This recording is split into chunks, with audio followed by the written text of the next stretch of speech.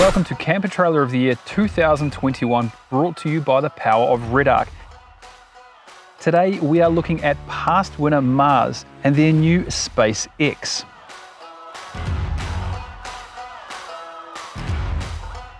Glenn, this is a family camper and quite a common style. Who do you think it suits to buy and do you think it hits the nail on the head? Well, they're aiming the camper at the family with teens market with you know 520 kilos of payload, good storage under the seats, the two big beds. I just thought it was brilliant that the batteries are stored under the floor in the middle of the camper, where the, the load rating makes it good because it sits over the axle. But what it did was create so much space under the seats, something that is not seen in any other camper.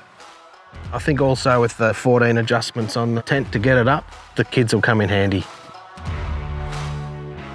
In terms of comforts, how did you find the Space X from Mars? They're doing a good job there. We've got a uh, two queen size beds with 120 millimetre inner spring mattresses. You don't see that in every camper of this style.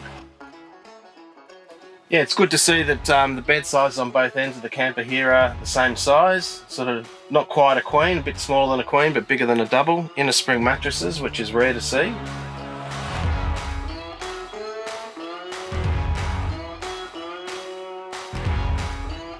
It is possible just to lift that roof a little bit. When you're looking to pack, you can lift the roof a little bit just with a catch so that you can actually stock this camper with the roof down. Now that makes a really big difference when you're trying to get away for the weekend. That dinette that they had was configured quite sensibly with a, a rotating handle so you could raise and lower. In terms of those aspects, pretty comfortable, well set out camper. Yeah, I agree. And then from a self-sufficiency, I thought it wasn't too bad either. We had 200 litres of water on board, or two 100 litre tanks. They were permanently linked, and a 95 litre dual zone fridge, which I, I, did appreciate. Now, that wasn't included in the price though. The 200 hour AGM batteries were, as was the AC charger, and there are two 9 kilo gas bottles. So I reckon you'd go okay for a few days off road with a family.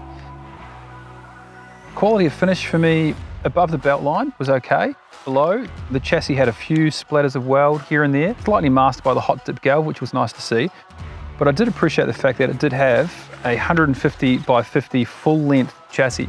So from the, the drawbar right to the back, as well as a 1000 watt inverter. They're running the, uh, the Mars independent suspension and shock. So in terms of off-road ability, uh, you, you get what you pay for as Glenn was saying, that, that centre of gravity will be improved by the batteries being placed where they are. I'm a massive fan of the amount of space in this bench. It's too hot as well. And there's good storage too underneath. There's all the drawers. At the lowest point, under the camp was only 330 mil off the ground, so yeah, it might be a bit more suitable for parks. I think that's the sort of audience that this camp is uh, directed towards.